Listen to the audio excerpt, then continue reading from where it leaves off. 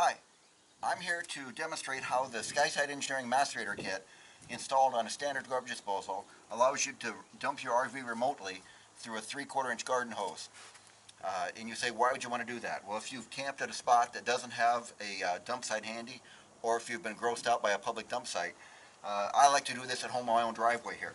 I have a hundred foot hose that goes back around the building to my septic tank, and I'll show you that in a little while. So, the, here's the, the SkySight Engineering Macerator Kit.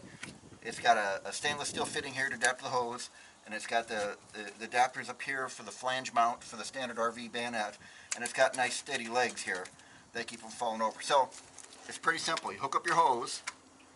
Like I say, this is a 100 foot, 3 quarter inch diameter hose.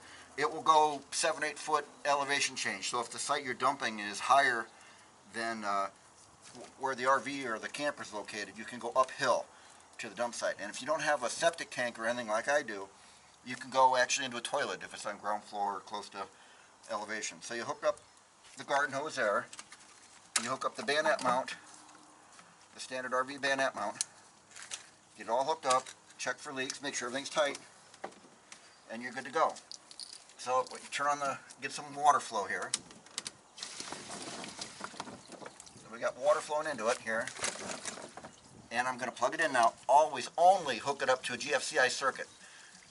And this uh, this goes to GFC, GFCI circuit in the building. So you energize it, and away you go.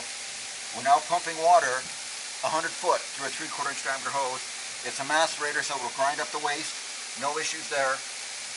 It flows just fine, and it'll go that way.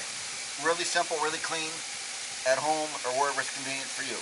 Next, I'll show you around the back and show you how much head pressure we can get out of it. Okay, you can see what I've done here. I've hooked up a, a garden hose outlet to my uh, clean out for my septic tank. But like I said before, as long as you're within a seven or so foot elevation change, you can run into uh, right into your septic tank or into any drain in your house. Do not go into a city storm drain.